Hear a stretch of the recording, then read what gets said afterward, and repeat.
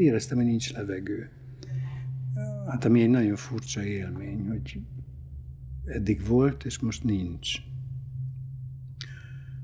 Van, amikor az embernek levegőtlenségi érzésé van, meg el van dugolva az orra, akkor fújkodja, meg nem tudom, hogy mit csinál, de akkor sincs. Nincs. Tehát nézek körül, a többieknek van.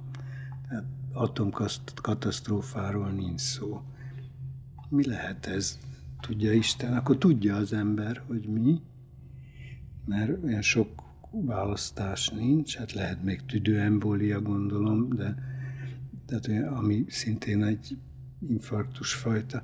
De hát tudja, hogy mi a baja, de hát húzza az időt, hogy hát ha nem, hát ha csak ez vagy az. A bor mentett meg valószínűleg az, az életnek, vagy tartott vissza abban a pillanatban egy kicsit a mélytől, mert a vörös bornak annak értágító hatása van. De megtettem az ellenkezőjét is, elkezdtem dohányozni, hogy esetleg rég gyújtottam rá, és ez a baj, és hát akkor elsötétedett, mert akkor tényleg nem volt több levegő egy ideig, nem rögtön a szippantások után, de úgy lassan, úgy besötétedett, vagy hogy mondjam, hájogos lett. Kimentem a mosdóba, hogy megnézem, hogy ez kívülről hogy néz ki. Tehát átélek valamit, ami vajon kívülről látszik-e? Tehát van-e valamilyen jele? És akkor egy idegen arc nézett rám, tehát egy olyan arc, akit én még soha nem láttam és nem ismertem, ott csak én álltam a tükör előtt. Nem volt az illetőnek színe, de arra viszont azt hittem, hogy a lámpa esetleg, mert egy ilyen ronda neon volt, és hogy esetleg ez ad olyan fény, de hát miután fényképész vagyok, tehát meg kellett állapítani, hogy ettől a lámpától ez nem jön létre, hanem ez itt valami kardinális probléma van. És akkor megpróbáltam megmosni az arcomat, ami mindezt, mindent, mindent további nélkül meg tudtam csinálni, csak a légszom és a, az izzadás, és egyfajta gyengeség, ez volt a, a kísérő jelenség, és a fájdalom. Fájdalom az tetemes volt. És akkor fizettem, fizettem, és beültem egy taxiba, és hazamentem. A, a taxi, gondoltam, hogy ez majd jót tesz, a beáramló levegő, de a beáramló levegőbe ből sem kaptam több oxigén, tehát az oxigén hiány maradt, akkor hazamentem, valahogy fölmentem az emeletre, egy első emeletre, nincs lift, mert egy kis ház, kis régi ház, és, és akkor egyedül voltam a lakásban, a feleségem az 210 kilométerre Gombos-Szegen,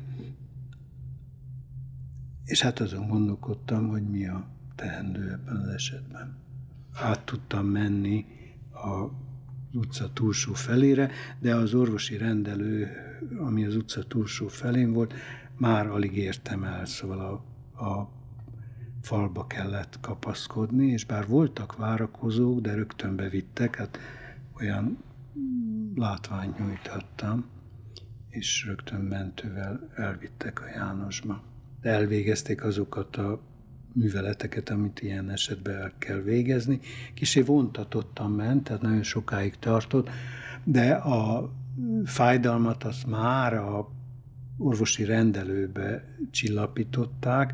Ezek morfiumhoz hasonló ez egy morfiumhoz hasonló szer, vagy morfium származék, tehát az ember nyugalmi állapotba kerül, a fájdalmai nem szűnnek meg, de nem olyan erősek, hanem inkább egy ilyen ködfüggöny mögül fáj erősen, de nem olyan élesek a fájdalmak. A fájdalom az a hátba, karba, könyökbe, főleg a legsúlyosabb az a melcsontban, szét akar repedni, és a hátcsontban érzékelhető, de ez változó, tehát mindenkinél egy kicsit más. És akkor következett be az a pillanat,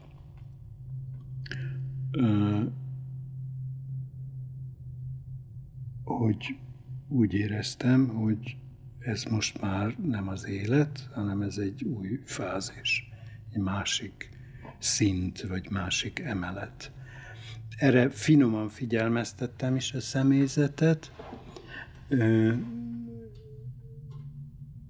de a maga a megfogalmazás és a ki, ennek a megfogalmazott mondatnak, ami egy hazugság volt, ez volt benne az érdekes, mert azt mondtam, hogy én azt hiszem, hogy el fogok ájulni. Valótt tudtam, hogy ez nem ájulás, hanem ez a halál.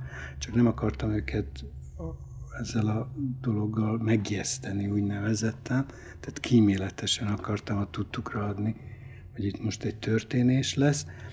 Ez olyan mennyiségű energiát emésztett föl, tehát maga a gondolkodás és a kimondás, hogy abban a pillanatban meg is haltam. Tehát abban a pillanatban vége is volt a filmnek. Ez tényleg olyan, mint egy filmszakadás, hogy abban a pillanatban az a kép eltűnik, nincsen orvos, akik így csinálnak, és nincsen ápolónő, aki leteszi a kezéből a jegyzett blokkját, és elkezd rohanni,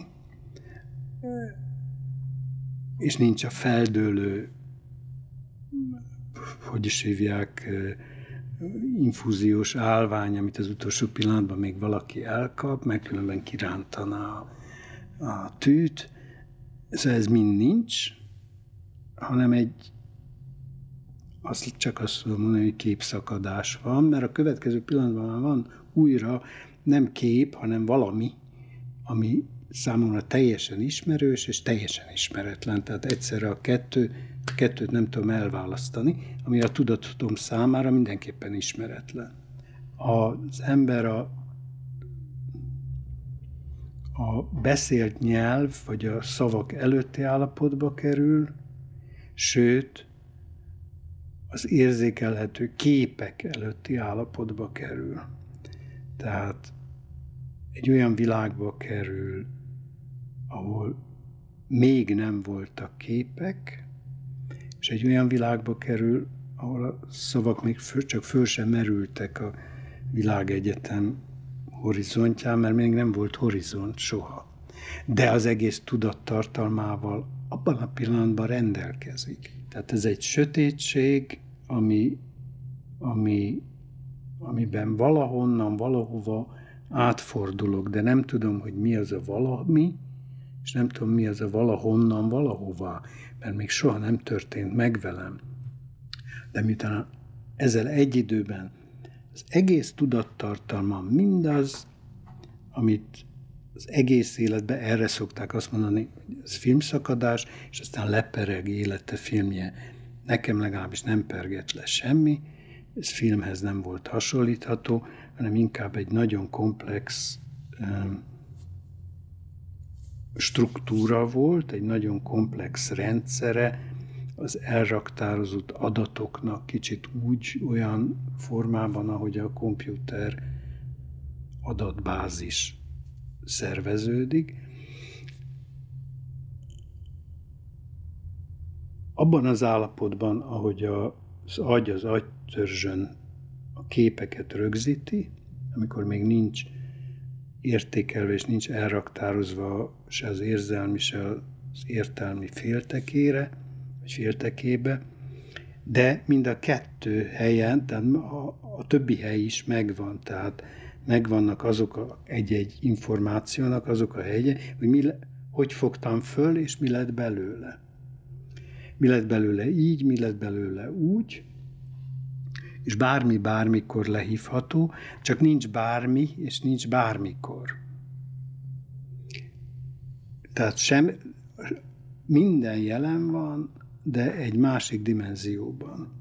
És ez a másik dimenzió, ez az erősebb, tehát ez, ez őrületes, ennek egy őrületes ereje van, és akkor abban a pillanatban azt mondja az ember magának, hogy igen, ez a halál, tehát ez a halál dimenziója, annak van ereje, ez a mindenség, aminek a része vagyok, vagy a részévé válok, de az, hogy mi, miként vagy hogyan, azt nem tudom. Abszolút védett és boldog érzés, a tudat, tehát az a tudat, amit az életből hoztam, az rögzítette, hogy, hogy ez milyen jó, és tulajdonképpen egész életemben erre törekedtem, és hogy a különböző szerelmeimbe, és azok nagyon konkrétek, konkrétok lettek.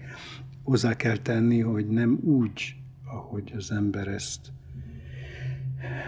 felébredés után konkretizálja, és nem is úgy, ahogy álmában, mert nem tapadtak hozzá például nevek, vagy nem, hanem egész érzet halmazok. A történethez, magához a történethez, hogyha hűségesen akarjuk elbeszélni, vagy valamennyire hűségesen hozzá tartozik, hogy ugye évmilliók teltek el, tehát a, valóságosan a, a, a, az időtlenség telt, ami nem telik. A következő fázisban, amikor a barlang barlangnak mondja a szaknyelv, de mondom, nekem nem barlang volt, hanem inkább a világegyetem maga, föltűnik először a fény, még soha nem láttam fényt. Nem tudom, hogy mi az. De hát, mint fényképész, akinek fényképész tudata van, nem csak, hogy tudja, hogy mi az, hanem van hozzá rögtön egy hasonlata. Tehát ez egy, vagy meghatározó, hogy ez egy opál, ez egy, ez egy szórt fény, ez egy mesterségesen szórt fény ez egy nagyon furcsa forma, amin kereszt, ami mögött én látom a fényt. Tehát az, hogy ez dimenzió, de az a tudat, amelyik átéli, az ugyanakkor ezt nem tudja, mert először látja, de azt se tudja, hogy először látja. Éppen ez adja a, a, a, végtelenség vagy az időtlenség dimenzióját, ját, hogy nincsenek viszonyítási pontjai, nincsenek, csak maga a folyamat van, először kifordult, ráfordult, és elkezd csavarmenetbe menni a fény felé, csak az a tudatom van, amely, amelyet az életből hoztam, és ahhoz elvileg nem tartozik hozzá a szülőcsatorna belső képe, nem emlékezhetünk rá, de hát egyrészt van egy olyan tapasztalatunk, hogy ez különböző pszichológiai eszközökkel mégis előhívható, ez az emlék. Másrészt van egy olyan nagyon lényeges tapasztalatunk, hogy az ember a testi szenzációkat, jelenségeket, élményeket át tudja tenni, át tudja írni képpé. Az álmok másként nem lehetségesek, és ebben nagyon nagy tapasztalata van. Tehát ha egy érzetet magunkba hordunk a születésünktől kezdve, akkor nagyon nagy a valószínűsége annak, hogy ez képi nyelvre átfordítható, ennek a különböző szakaszai képi nyelvre átfordíthatóak, és esetleg abban az állapotban, amikor az ember meghal, akkor, hogy megvédje önmagát, azt a tudattartalmat, ami ő, és az egységet, ezt a teljes egységet, ami, a, a, egy lénynek, vagy egy élő lénynek az élete, ezt létrehozhassa, ezért az, az utolsó élménye egyben az első élménye. Tehát a két élmény, mint egy egymásba fordul, egymásba néz, amit egyébként hát egész életében nem csak, hogy magával hordozott, hanem bizonyos értelemben az élete sokért, sok tekintetben abból következett. De az, hogy ez egy szülőcsatorna, vagy mély, vagy, vagy a, a, a, ennek a barlangnak a bejárata az erősen hasonlít egy, egy nyitott női nemi szervre, az egy későbbi hozzátétel, mert nem tudom, hogy ezek mik. Nem is kérdezem, hogy ezek mik, hiszen ez az élethez képest, ahhoz, amit elhagyok, egy teljesség, és a teljességnek örülök, hiszen egy egész életen át a teljességre törekedtem, és most végre megkaptam. Tehát ezek a szerencsétlenek mindig azt hiszik, hogy nekik vissza kell engem vinni abba a világba, ami a teljesség hiánya volt. Most megkapom, most az enyém lesz. És hát akkor ott volt megint a ott voltak az apparátusával az ápolónő, az előtérbe a két orvos, akik fölém hajoltak. Kicsit spédben regisztrálták, hogy visszajöttem és fölnéztem. Tehát én előbb láttam őket és az ő aggodalmukat, mint ők az én visszatérésemet, de ez egy nagyon kicsi időegység volt a különbség. Nekem nem volt testtudatom egy ideig még, tehát az embernek a testtudata spétben tér vissza, és amikor már volt, akkor az attól volt, hogy a, ezektől az elektromos ütésektől az ember mint egy ilyen béka elkezd rángatózni, és nem, nem, lesz, nem ura többé a, a testének, tehát összevizeli magát, lehet, hogy van, aki be is székel, azt nem tudom, de én összevizeltem magam. Vagy korábban, vagy akkor, azt nem tudom mikor.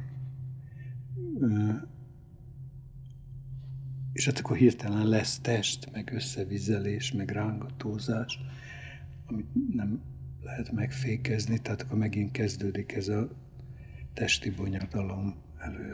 Az egy külön része az egész folyamatnak, hogy az ember érzékeli, hogy mi az, amit léleknek nevez, és mi az, amit testnek nevez, és mi az, amit tudatnak nevez, és hogy ezek egy életen át hogy vannak tulajdonképpen igazságtalanul és alaptalanul elkülönítve. Ez egy öt éves folyamat volt nekem, amíg sikerült megint külön választani. Tehát akkor inkább az következik, hogy mint egy majom, tudom, hogy mit kell utánoznom a többiek viselkedésében, és akkor utánozom őket. Úgy csinálom, hogy szoktam csinálni, vagy szoktam volt csinálni, és ahogy ők csinálják, de ez mindenféle belső meggyőződés nélkül. És a belső meggyőződés később újra visszatér valamelyest. Akik ismertek előtte és ismertek utána, hidegebb lettem, ezt, ezt én magam is érzem, mert végletesebben fogalmazok, nem vagyok udvarias vagyok, de nem vagyok annyira udvarias, tehát bizonyos hazugságokba már azért nem megyek bele, élethazugságokba. Ez nem élmény. Tehát az élmény szóval például nem illethető, nem,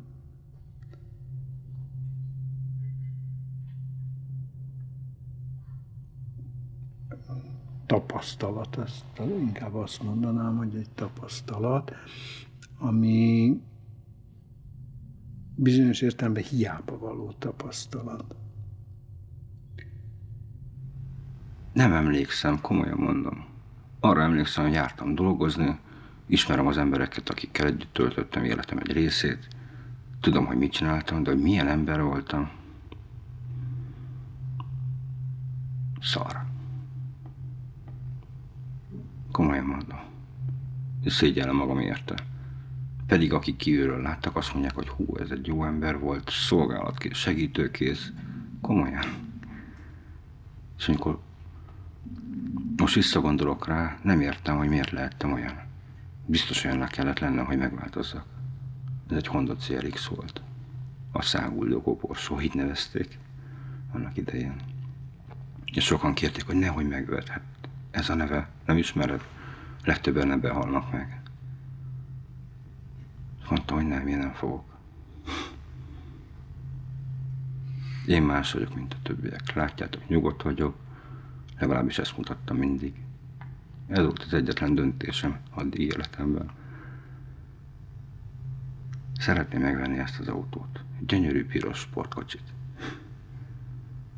Reggel elindultam otthonról, munkába mentem, elköszöntem anyukámtól, minden reggel kikísért, és mondta, hogy vigyázz magadra, kisfiam. Én mondtam, hogy persze, vigyázzok magamra. Elindultam, mentem, mendegéltem, Fótnál elém állt egy teherautó, egy ifa, és szép lassan harminccal ment, és szembe jöttek, és nem tudta megelőzni, és mondta, nem fogok beérni. Soha nem késztem sehonnan. És akkor azt tapasztaltam, hogy egyik pillanatról a másikra oldalra fordul az autó, és elkezd csúszni, és akkor már ott volt a busz. És fölnéztem, és a buszvezető megmarulkolta a kormányt, rémült arcot vágott, hogy most mi történik, és én valószínűleg ráléptem a gázpedálra, és soha többet nem léptem le róla magamtól. Kikerültem a buszt, lementem az útpatkára, próbáltam visszarántani az autót, de léptem a gázra. És aztán visszadobott az útpatkáról. És így ütköztem 140-nel egy fának. Frontálisan. És ahogy megfogott a biztonsági, mindig bekapcsoltam magam, és előre lendültem. A motor kiakadt, és benyomta a kormány szerkezetet, és eltalálta az arcomat. És hogy eltalálta az arcomat, utána még visszacsattant a fejem hátra a fejtámlának, és ennyi. De ott egy pillanatra feketeség volt, és én azt gondoltam, hogy kinyitom a szemem. És láttam magam előtt egy pókálót, az volt a szélvédő. Láttam, hogy elmegy a mögöttem lévő autó, de az ifa megáll, gyorsan kiugrottam, hogy akkor szóljak, hogy semmi baj nincs az égvilágon, én majd intézkedek. Láttam, hogy a kocsi kísérő az gyorsan szalad, ott volt a közelben egy gyomdőzem. Annak a bejáratához, a portára, hogy telefonáljon. De tudtam, hogy a portán szemeli a kagylót, és telefonál, mert látta, hogy mi történt. És nem értettem, hogy mi történik itt. És láttam, hogy a teherautónak a vezetője megrohan az autóhoz, és akartam neki mondani, hogy de hát álljon meg, itt vagyok. Hát látja, hogy semmi bajon nincsen az évvilágon, majd elintézem az autót, ne foglalkozzon vele. És rohan, és nem hallgat rám. És hiába mondtam, így átment rajtam. Oda az autóhoz, és próbálta feszíteni az ajtót, és mondtam, de hát itt vagyok, hát nem érti? És láttam, hogy ül valaki az autóban, és keresztem az autómat, hogy most mi történt? Neki mentem valakinek? Nem értettem a helyzetet. Ki ül az autóban, vagy mi ez itt? És tudtam, hogy közben fölvették a telefont. Az Árpád kórházba. Tudtam, hogy az a szerencsétlen nő egyedül neveli a gyerekét, és legszívesebben otthon lenne, mert a gyereke beteg. És tudtam, hogy három mentő van, és ezek közül kettő kint van, az egyik meg rossz. És akkor éreztem, hogy kezdek emelkedni valahonnan, innen, amit mi földnek nevezünk. Holott tudom, hogy mi történik folyamatosan. Visszajött a kocsi kísérő, kezdte terelni a forgalmat, mert persze megállt mindenki nézni, hogy mi történt, de senki nem állt meg rajtuk kívül. Tudom, hogy mire gondoltak az emberek az autóban. Éppen szülni vittek egy asszonyt, és elsírta magát, hogy milyen dolog az, hogy ő életet meg adni valakinek, és közben meg, meghal, ez nem igazság. Az az érdekes, hogy amikor emelkedtem, elindultam valamerre. Nem tudtam, hogy hova megyek. Egy pont felé, mint hogyha egy út alakulna előttem. Gyönyörű volt, sötét volt körülöttem, és jöttek a lelkek. Egy pont felé tartottunk. Nagyon sokan haltunk meg a földön abban a pillanatban, és mindannyian oda tartottunk. Olyan, mint hogyha egy óriás nyitott tér lenne, valami poron lenne a közepén, ami meg van világítva, és a széksorok között vezetnek az utak, de nem egy, hanem hányan vagyunk ott. És nem keresztezik egymást, mindenki a sajátján megy. És alakul. És valakinek már kialakult útja van, oda vezet, és az enyém ott alakult előttem. Mint ha csillagok között járnék. Olyan. Egy olyan hely, mint hogyha egy rét lenne, de nem rét. De tele lenne virággal, meg növényekkel, meg lelkekkel, és ott szabadság van, és azt érzed, hogy, hogy mindenhonnan valami, mintha zene szólna, de nem zene, mert bennem is van. És nem tudok egy tapottat sem menni, mert érzem, hogy nem mehetek tovább. Olyan szeretet vesz körül, ami, ami éget, olyan fény van, ami, A lámpába belenézel, akkor égeti, vagy a napba belenézel, akkor nem tudsz belenézni. Sokkal erősebb volt, és bele tudtam nézni. Szürkés, ezüstös színbe borult az egész táj. Mint hogyha kinyitnának egy ajtót, jön egy fény, ott áll benne valaki, vagy valami. Megjelennek azok a szeretteim, akiket addig elveszítettem életemben. És ráismertem édesapámra, nagyszüleimre. És azt mondta, hogy egy kicsit korábban jöttél, mint ahogy kellett volna. És nem értette, hát meghalt. 13 éves voltam, amikor utoljára találkoztunk. Mi van itt? Most tényleg álmodok, hogy, hogy itt van. És valószínűleg ezt tudta. Mint hogy nincs az embernek szeme, nincs füle, nincs szája, és mégis tudom, hogy mit gondol. Vagy hogy mi van. Jobban nem tudom megmondani. És mondta, hogy én vagyok, ugye rám ismertél. És találkozni azzal, akit elveszítettem, és azt gondoltam, hogy soha többet nem találkozom vele. És olyan, mint hogyha átölelnénk egymást, pedig nem tudjuk átölelni, nincs kezem. Mivel ölelem át? És mégis átölelem mindenkit, aki ott van. És mondta, hogy ott van a kocsiba, akit eddig magadnak gondoltál. És mondta, hogy de hát én itt vagyok. Azt mondja, igen, te itt vagy, de akit eddig magadnak gondoltál, az ott van, nézd meg. Olyan, mint amikor a hold besüt egy tisztásra, egy erdély tisztásra, és kis kötfoltok vannak, ilyen babapos, babapiskóta formájú kis köt, kötfoltok. És az is, hogy egy kicsit világít, és át, mégis áttetsző. És tudom, hogy ő sokkal fiatalabb volt, mint amikor meghalt ahhoz képest, pedig akkor is fiatal volt, mert 46 évesen halt meg. De én egy fiatal emberrel találkoztam, egy fiatal lélekkel. És a nagyszüleim is mind-mind fiatalabbak voltak. És éreztem, hogy nekem itt semmi keresni valóm, csak akkor, hogyha amit eddig csináltam, azt valahol leteszem. Olyan dolgokat hordozok magamban, ami nem jöhet időbe. És akkor éreztem, hogy lepereg előttem az életem. És minden pillanata. És minden gondolatom, szavam és cselekedetem ott van előttem. És azok hatásai. És az nem jó. Voltak benne nagyon jó pillanatok is. De nem az egész volt az. Amikor tényleg igazából szeretettem tudtam odafordulni a másikhoz, hogy ő hozzám. Az nagyon jó volt. És nem a fények meg ezek hatottak rám, hanem maga az a szeretet, az a fény, ami átjárta minden porcikámat. Minden egyet, minden egyes atomomat átjárta. És ha rágondolok, akkor most is érzem, hogy átjár. Vagy így élek, vagy úgy élek. Vagy le tudom tenni, vagy nem tudom letenni. És hordozom magamban. És én arra törekedtem ott, hogy szeretnék ettől megszabadulni, mert nekem ez nem jó. Ez nekem nagyon rossz érzés. És addig, amíg nem ég ki belőlem. Ez a sok-sok minden. Sok-sok kicsi apró tű. Meg tűzszúrás. Addig én nem tudok tovább menni. Volt olyan barátom, aki felakasztotta magát, mert hatalmas adósságot csinált, és a családja ezt nem tudta. És eddig reggel kiment az erdőbe, volt három kislánya, és felakasztotta magát. És találkoztam vele. És az lehet maga a pokol, amikor minden nap ugyanazt átélni, mert ő azt gondolta, hogy az életének véget tud vetni, akkor, amikor a testi élete megszűnik. És ott találkoztam vele, és mondta neki, hogy Misi, mit csinálsz? Mert ő minden nap, minden egyes pillanatban arra készült, hogy véget vet az életének, mert amikor azt tapasztalt, hogy mégis van az élete után valami, akkor ezt nem értette.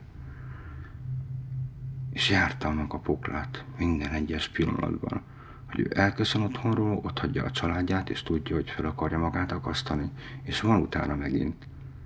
És megint, és megint és próbáltak neki segíteni lelkek, mindenféle lények. Olyan szeretettel vették körül, és addig, amíg ő nem tapasztalja meg, és nem érti meg, hogy tényleg van utána, addig ő a poklok poklát járja. Gomolygott benne minden. A saját tengelye körül gomolygott ez a lélek. De akkor nem tudom, mi történt, mert megszűnt ez az egész. És nem volt sem fekete, sem fehér. Nem tudom, mi volt. Azt tapasztaltam, hogy nincs. Azt sem tudom, mennyi ideig tartott, hogy egy évig, ezer évig, hogy a pillanat törtészéig nem voltam. És a legszörnyűbb érzés nem lenni. Ha alszol, akkor is van valamilyen léttudatod. Forgulódsz, egy kicsit kinyitod a szemed. Most is tudod, hogy itt vagy. Az, amikor nincs, azt miért nem tudod? Nem tapasztaltad, mert mindig is voltál. És amikor ez megszűnt, olyan dolgot tapasztaltam, amit még kevésbé tudok elmondani, mint a rét. Mert benne voltam a mindenben. Mint én most is benne vagyok. És ott volt a múlt, a jelen, a jövő. Abban a vanban.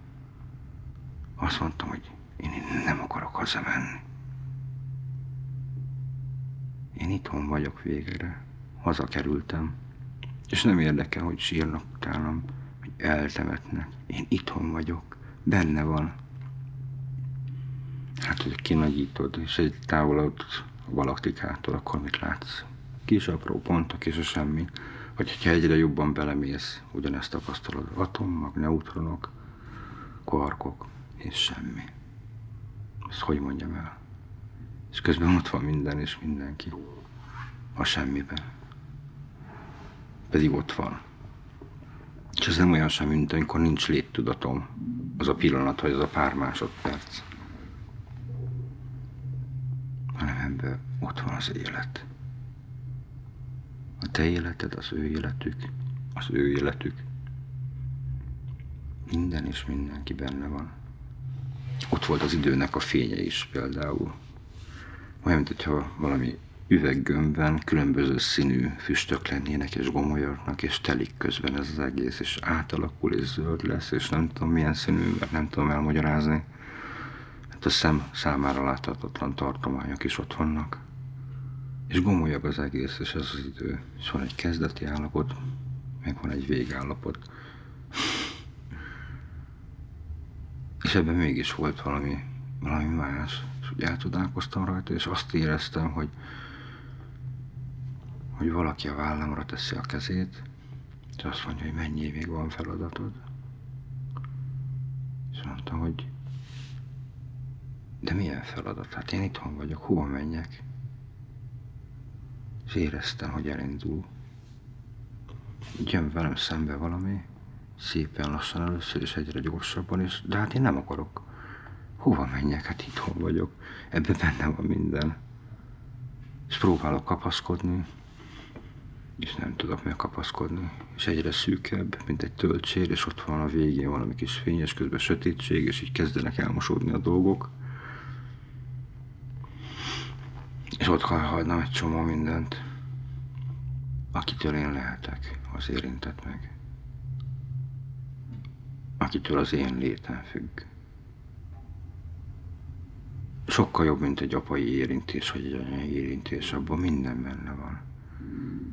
És nem tudom, hogy megérintette, de mintha oda tenni az apukád a vállatra a kezét, azt mondja, gyere fiam. Volt egy bizonyos hely, honnan nem mozdultam, nem léptem tovább. Fogalmam sincs, hogy nincs után, mert én most itt vagyok ha tíz év halál után támadnék föl, akkor meg tudnám mondani, hogy mi történt. Odáig nem jutottam el, hát csak négy és fél percet voltam halott. Próbálsz kapaszkodni, és érzed, hogy egyre kevesebb vagy. És mégis mész, valami húz, és egyre sebesebb, és aztán visszajön valaki, aki ebbe belefér. Illetve egy kicsit tovább tart. Azt éreztem, hogy itt valahol a homlokom környékén érkezem be. Fekszem egy hideg folyosón, Egyszer csak jön anyukám, és próbál megfogni, és próbálják visszatartani, hogy nehogy hozzám érjen. És sírt szegénykém, aztán fölém hajom valaki, és aztán egy darabig megint semmi.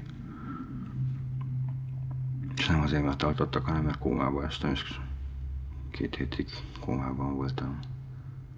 Nem csak csikulya törésem volt, hanem koponyalapi törésem is, az, ami átjött az arcomnál. Így ketté tört a fejem, az állkapcsom az becsúszott az agy és a koponyak közé. Ezt ki kellett emelni, összehozni 16 helyen törttel. A felső állkapcsomat, ahol eltört, azt is összehozták valahogy. Arc üregből kivették az arcsontot. Ilyenek. Azt mondták, hogy nagyon megváltoztam, én nem ilyen voltam. És mondtam, hogy hála Istennek megváltoztam. Ha olyan maradnék, akkor igazságtalan lennék önmagammal szemben. Egyetlen egy barátom maradt, és közben nagyon-nagyon sok barátomnak mondott ember volt mellettem. Én más lettem. És nem azért, mert nem voltam annyira vidám, hogy nem voltam annyira segítőkész, hanem más légkört éreztek körülöttem. Még most is nagyon sokszor olyan honvágyam van. Nem tudom elmagyarázni, milyen ez az érzés. Hova lenne honvágyam, amikor itt vagyok? Abban vagyok. Ez nagyon sokszor így tudatossá kell tennem, de hát én most is ott vagyok. Attól függetlenül, hogy mi történik, én ebben vagyok. Észrevettem, hogy a mi házmesterünknek a fia nyírja a szomszéd háznak a füvét. És én ezen teljesen megdöbbentem, vagy meglepődtem, hogy miért a mi házmesterünk fia nyírja a másik háznak, ezek ilyen tömbházak volt, a füvét. És ahogy mentem, megálltam, és így rácsodálkoztam, kb. olyan száz, igen, mondjuk háromszor annyi, mint ilyen, olyan száz méterre, talán annyi nem volt, mondjuk 50, 40, igen, 40-50 méterre, igen, volt tőlem, és abban a pillanatban azt éreztem, hogy hogy valami történt velem, amitől így megállt a világ. Így minden megállt, és hozzányúltam a lábamhoz, de semmi nem fájt az ég egyet a világon, csak hozzányúltam a lábamhoz, ahol egy ilyen nagy lukat éreztem. És azt éreztem, hogy így uh, ilyen nedvesség folyik a, kezem közül, és láttam a földön ilyen rózsaszín húszcafatokat, amiről megállapítottam, hogy valószínű, hogy ez belőlem van, de semmim nem fáj, de azt éreztem, hogy mindenben benne vagyok én. És hívták a mentőt, jött a mentő, beraktak a mentőbe, és magában a mentőben mm,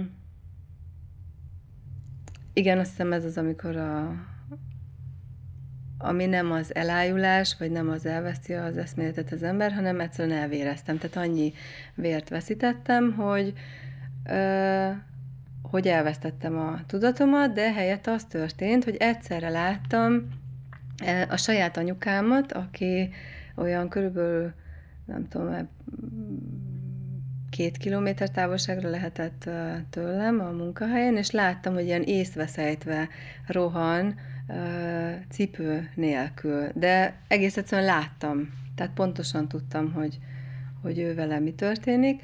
Láttam a saját életemet előrefele, sok verzióban. Az volt a különös, hogy aztán az én életemben ezek a következő, te 7 éves koromtól 24 éves koromig, amíg szerzetes nem lettem, addig ezek az életek ilyen foszlányokba megjelentek.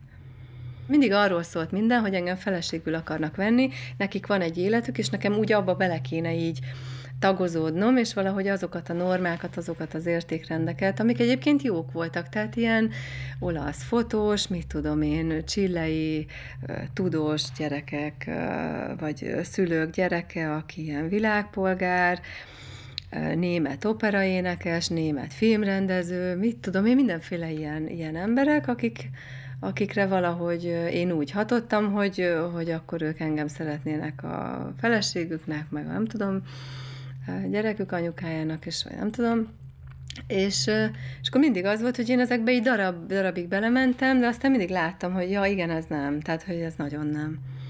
És ez 12 éves koromban én ezt így teljesen átéltem. Tehát amikor ez a, a, a a baleset volt, akkor pontosan tudtam, hogy olyan volt, hogy pontosan tudtam, hogy mik várnak rám, de azt is tudtam, hogy én ezt nem akarom, csak azt nem tudtam, hogy ezt hogyan lehetne hát elkerülni. Amikor ezek a képek voltak, illetve maga a, a hmm,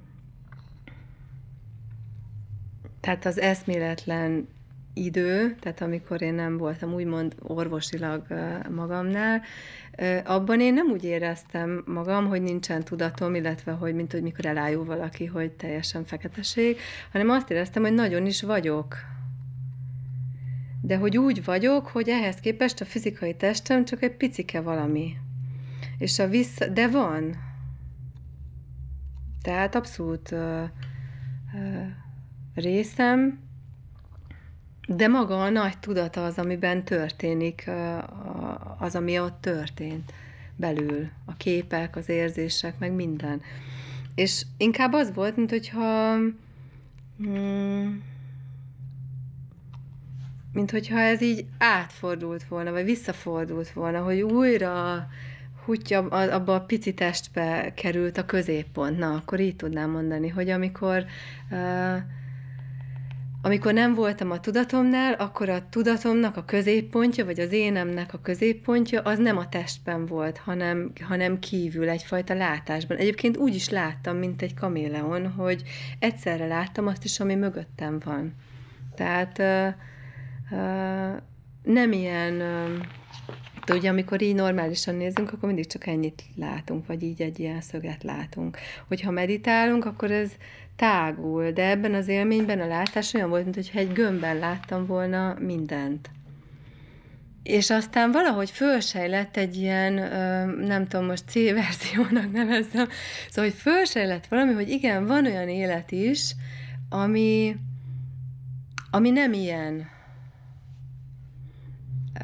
valami másmilyen, de én akkor azt gondoltam, hogy menni kell. Tehát, hogy ahhoz, hogy én úgy éljek belül, ahogy, ahogy én azt választanám, az így testben nem megvalósítható, és azért azt gondoltam, hogy ja, hát akkor, akkor jobb, jobb nem testben lenni. Tehát, hogy akkor jobb így lenni, mint, mint visszamenni a, a testembe. És akkor jött ez a kép, amit anyukámról láttam, hogy azt láttam, azt az iszonyatos szenvedést, hogy ő tudta már akkor, hogy a lányával történt valami. Tehát, hogy valami szörnyűség történt a gyerekével. És láttam, ahogy rohan, és így láttam benne azt, hogy ez neki, neki mit jelent, és hogy ő ezt így nem tudná, vagy tudná, de... Szóval, hogy ez egy ilyen borzalmas fájdalom, amit ő most épp átél. És akkor volt egy ilyen, ja jó, akkor igen. És tudom, hogy ez egy tudatos döntés volt. Hogy nem rángatott engem senki sehova se. Szóval, hogy nem az volt, hogy uh, hogy most jöttek volna bárkik, akik nekem azt mondták volna, hogy vissza kell menni, mert rád még ez és ez vár, vagy neked még ezt és ezt kell teljesítened, hogy semmilyen nem volt, hanem tudtam, hogy ez az én, hogy ez az én döntésem, hogy, hogy itt vagyok, és hogy eredetileg is ezt akartam, ezért vagyok itt. De hát igen, szóval, hogy ez egy pillanat, amikor így fókuszt vált, whoops, és abban a pillanatban visszajött a fájás. Amikor fölébredtem, akkor arra ébredtem föl, hogy oda dobtak, hát akkor már a műtőasztalon voltam, és oda dobtak egy, egy ilyen vasgolyót az orrom elé, és mondták, hogy na ez volt a, ez volt a combomban. Tehát, hogy ezt lőtte bele a fűnyírógép a, a combomba. Olyan lett, mintha két életem lett volna onnantól kezdve, a balesettől, egészen sokáig hogy volt egy magamnak élt valódi életem, és volt egy olyan életem, amit így tudattam a világgal, szóval, és akkor ott volt egy ilyen biztonságos kis mesdje, amin úgy tudtam így közlekedni, tehát én, én ebben teljesen tudatosan tudtam közlekedni, hogy kinek, mikor, mit és mennyit magamból. Négy évig úgy tartottam el magamat, hogy Nyugat-Berlinben utcazon éltem, és aztán később Hamburgban meg, megtanítottam fuvolát így akárkinek. Leültem egy templomnak a lépcsőjére, kinéztem a Deutsche Oper Berlin, az a, a Nyugat-Berlini operának a portáján, hogy hogy hívják a főintendást, a Herr Götz Friedrich, és akkor írtam neki egy levelet. És akkor mondták, hogy jó, egy hét múlva kezdődnek a Lohengrin próbái, legyek ott partitúrával és szótárral. Úgy csináltam végig novembertől májusig, három felvonásban a varázsfúvalát, ami egy ilyen beavatós darab azért, hogy semmi pénzem nem volt. Egész jól el voltam a WC csapvizén, meg amikor néha így meghívtak valamire, de hogy így úgy élek, hogy nem eszem, így csapvizen el vagyok, néha valamit, nem tudom, valaki megkínál valamivel, azt elfogadom, vagy a házi nénitől loptam egy krumplit mondjuk, de hogy így nincs semmi. Tehát ez így tök jó. Elkezdtek ilyen fájdalmaim lenni, de nem ilyen konkrét fizikai fájdalmat, nem a májam fájt, vagy a szívem fájt, vagy, vagy valami, valami konkrétan fájt, hanem elkezdte, mint hogyha hmm, mint hogyha az atomok fájnának. Vagy ilyen picike-picike, ilyen tűszúrás fájások. Amikor hazamentem este, hogy, hogy aludjak, akkor meg attól féltem, hogy ha elalszom, akkor így besüppedek egy ilyen fekete sötétségbe. Tehát ennek a fájdalmat, tehát ha ezt a fájdalmat én ebbe a fájdalomba belealszom, akkor egyszer megszűnik a tudatom létezni, mint hogyha egy ilyen sűrű, sötét massza így kioltaná a, a tudatomat. És azért, hogy ez ne történjen meg, állandóan éberen figyeltem, hogy, éber, hogy ébren maradjak. Na és akkor ez így ment, körülbelül igen, ilyen május közepéig, amikor az egyik osztálytársam jött velem szembe az utcán, és kezembe adott egy telefonszámot, és azt mondta, hogy hív fel ezt a nőt, ő fog neked segíteni. Egy nagyon idős néni volt, egy ilyen kis pici, fehér, ilyen kis csillogó néni. És nekem ő volt az első élő ember akkor már évek óta, akiben bármilyen csillogást és ilyesmit lehetem felfedezni. És ő azt mondta, hogy ennek le kell menni a fenekére. Hát és én meg azt gondoltam, hogy már ennél a fenekére már nem tudom, hova menjek, és azt mondta, hogy a fényt kell akarni. Tehát ezt a két dolgot mondta, és egyébként teljesen békén hagyott, és azt mondta, hogy enni nem ad csak inni, azt is csak keveset, mert hogyha elkezdene nekem enni adni, akkor én ezt a folyamatot elrontanám, vagy, vagy akkor, akkor visszafordulnék valahonnan. Úgyhogy adott egy szobát, ahol én így viszonylag biztonságban éreztem magam, és így vártam. De ez a szenvedés az ilyen, hát ez ilyen állandó. Tehát kb. 40 napig ilyen folyamatos éberség, folyamatos fájdalom, és, és nem, nem alvás. De gyakorlatilag olyan volt, mintha tudtam volna, hogy én most itt ilyen vagyok és nem vagyok határán, és állandóan, mint hogyha a tudatomat kellett volna, hogy visszarántani a, a, a vagyokba. És az egyik éjszaka mm, az történt, hogy hogy tudtam, hogy vége van. Tehát egész egyszerűen fölébredtem éjszaka, és tudtam, hogy vége. Ennek az egésznek vége. Tehát az, amikor úgy találkozol azzal, hogy amit a buddhisták úgy hívnak, hogy lét akarat, tehát amikor találkozik a, hát az, amitől vagyunk, hogy, hogy, hogy lenni, akarni, akarni, lenni, élni. De ez olyan volt, mint amikor, nem tudom, hogy ezt ki, ki hogy éli meg, Szóval semmifajta fizikai vágyhoz nem lehet hasonlítani, hogy én ezt akarom, vagy szeretném, hanem ez egy ilyen olyan erő, hogy hihetetlen. Még talán szinte félelmetes is, hogy, hogy miért, mit kell ennyire akarni, de, de ez nem is, hogy ez nem egy reakció, hanem ez egy akció. Tehát, hogy, hogy, hogy vagyok, és én ezt akarom. És ez nem valamiért van, vagy nem valami ellen van, hanem pusztán a lét, létez, a, a tudatosságnak az akarása. És akkor így ebbe az akarásba belejött ez a fény, hogy, hogy a fényt kell akarni. Az ugye akkor úgy Cseng, June-nak hívták ezt a hölgyet, és mindig mondta, hogy a fényt kell akarni, és de én akkor ezzel abszolút nem foglalkoztam, annyira elfoglalt ez a fájdalom. És olyan volt, mint hogyha, de akkor már hetek óta olyan volt, hogy tudtam én, hogy én ki vagyok, meg tudtam, hogy hogy hívnak, meg mindent tudtam, de valahogy ö, olyan érzésem volt, és ezt így éreztem is, és mondtam is mindig a, ennek a hölgynek, hogy olyan érzésem van, mintha így égnék ki saját magam, saját magamból, mint hogyha ilyen tűszúrásokkal vagy lézerrel kiégetnének engem saját magamból így akkurátusan minden, minden, minden, mindent, ami én vagyok, az szűnik meg létezni. Megjelent egy fényes pöttyöcske, olyan, mint mondjuk egy borszem, vagy talán annál is, mint egy sókristály. Így a köldököm alatt belül a hasamban. És az az egyetlen egy pont volt, ami nem fájt. Az az egy picike fényes pont. És ez a kis fényes pont, meg az akarat, az valahogy így összetalálkozott, vagy, nem, vagy, vagy én oda irányítottam a figyelmemet ebbe a fényességbe, és az elkezdett nőni, de így belülről. Mint hogyha belülről nőtt volna velem egy gyerek, csak ez a gyerek egy fény. És ahova belenőtt, ilyen lassan, lassan, lassan nődögélt. És ahova belenőtt, ott nem fájt. De hát ez aztán ez egész éjszaka történt, amit most elmesélek. Tehát olyan öt óra alatt történt ez az egész. És teljesen tudatában voltam, hogy mi történik, sőt, inkább azt nem, hogy soha életemben nem voltam semminek annyira tudatában, mint annak. Tehát elkezdett belülről nőni, és akkor lett ilyen dinnyanadságú, aztán uh, ilyen, ilyen amorf, és így belenőtt, belenőtt egészen az egész testem belenőtt, és aztán elkezdte elhagyni a testemet, és a testemtől egy olyan olyan, ameddig a fájdalom ért, pontosan addig. És láttam, hogy én egy fénygömbben fekszem, az vagyok én, minden más az nem létezik, ez, ez vagyok én, és hogy ez egy teljesen semleges állapot. Olyan volt, hogy se nem jó, se nem rossz, se nem fényes, se nem sötét. Fényesnek úgy fényes volt, de hogy, hogy semmilyen. És nincsen én.